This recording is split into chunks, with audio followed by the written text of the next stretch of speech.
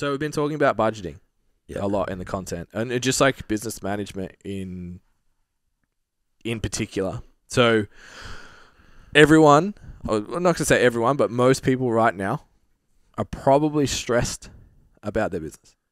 Yeah. Because now I'm not going to say why, because you probably lost some clients, probably finding it hard to get new clients, probably doing less good on the phone, probably getting less leads. There's less kickstarts coming. There's less new gym, new people in the gym. There's less buy-in on Instagram.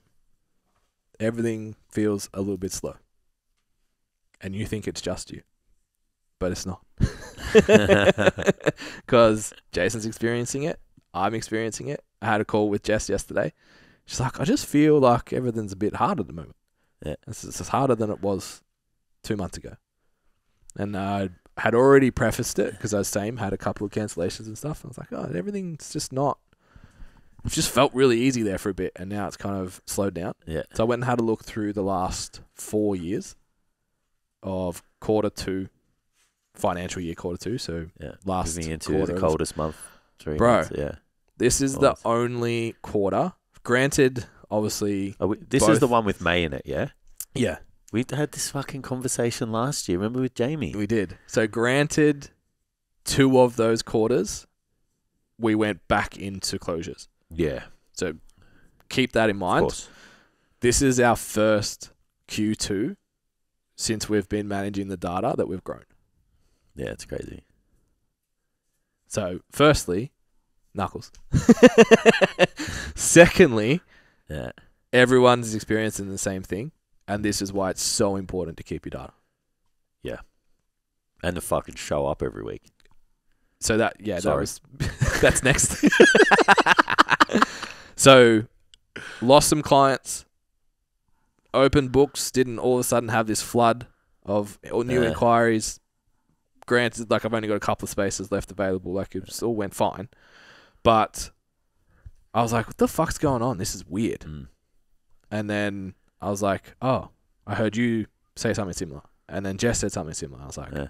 okay. And I spoke to I've spoken to a few people on Instagram and stuff like, oh, yeah, it's pretty slow. Blah blah. blah. I'm like, okay, there's a there's a thing happening here, and I didn't realize that we had like you just pointed out with Jamie last year, Yeah. the strength culture guys, same experience, same time last year. Yeah. So, not being, I I was like, fuck, like put so much effort into launch, new website, all Mm. of that. I was like, fuck, maybe I've dropped the ball. I haven't been good enough in Mm. whatever. I need to really hone in on that. Mm. And I was like, oh, actually, it's just the whole industry is slow right yeah. now. Uh, because I was able to actually go back and look at the data. Yeah. So you have two choices right now. A, I feel like you're talking straight at me. I'm not, but down the fuck. I've got two choices. Down the barrel. I've got two choices, guys. You had two choices. One, you can accept that it's slow. Yeah. Keep things as is. And wait for the tide to turn again. And you. So, two approaches. One, continue to do the same amount of work for 52 weeks a year Yeah. and understand that you have un. Uh, what's the word I'm looking for? Like.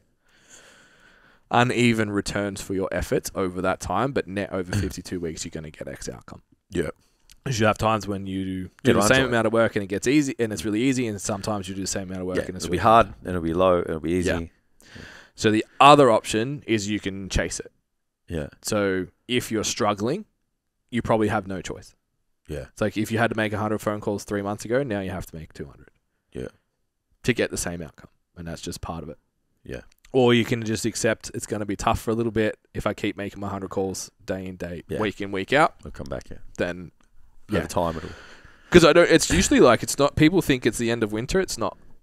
It's like July because everyone Yeah. realizes that they're Yeah. been lazy or put on or whatever. It's going to take longer than 10 weeks to transform your body. Correct. Yeah. So they're, they're basically your options. Yeah. If you're struggling, you have to just go. You have to chase it. You have to do more work. yeah, yeah. If you are managing your data, you know your numbers, and you have an efficient budget, Mm. which is something that the YouTube video is currently out um, on the YouTube channel. Are we in June? Yeah. Yeah. Last month of the financial year. Yeah. As well. Yeah. Correct. So if you don't have a budget set up, then you're not going to have any. We talk about having business savings put aside all the time. Mm. You don't have a backup for now. Yeah. So you're stressed about the bills and you're stressed about your own finances, and because when it was good, you were like, it'll never get not good, Mhm. and I'll just fucking either keep spending or whatever, behave in a way that's not conducive to long term, or you've created a lifestyle for yourself that's not sustainable in slow times. Yeah. So I think I know personally one thing that I did that really changed my stress and anxiety around finances was create a amount of we call it play money that I can spend no matter no questions asked. Yeah. Don't have to speak to Amy about it. Just like this is the money that I have every week to spend and do whatever I want. Yep. There's so many options that could that I could spend that money on. Um, so that's golf and all those types of things. So Yeah. that for me has meant my lifestyle day to day, week to week doesn't change in whether it's turbulent or not. Yeah. There's still the pressure of like the savings account's not filling up the way it was. And that's still important. But because my living allowance, let's call it, is so relatively low, it doesn't feel like my life changes Yeah. I understand that. which I think is really important for anyone running a business to find whatever way they can to reduce their anxiety around their money. Yeah. Because if you're struggling right now, the way you behave on the phone, the way you behave in the consult, the way you behave everywhere Mm. starts to smell a bit Oh yeah. because you get desperate. Yeah. Like, I need this sale to pay my rent. I Yeah. need this sale you even eat. talk about that before you go in, yeah. rather than like, how am I going to help this person? Correct. Yeah. Yeah. And it just leads to a spiral of, Especially if you're new. yeah. Uh, Yeah. like you can kind of pull yourself out if you're experienced. It's like, Yeah. hang on a minute. Yeah. But if you're new and you're desperate, it's like fuck. Yeah. You know, you can fuck that up real quick. Yeah. Just from just straight up desperation. Mm. Yeah. Our, our uh, as good as I am with money,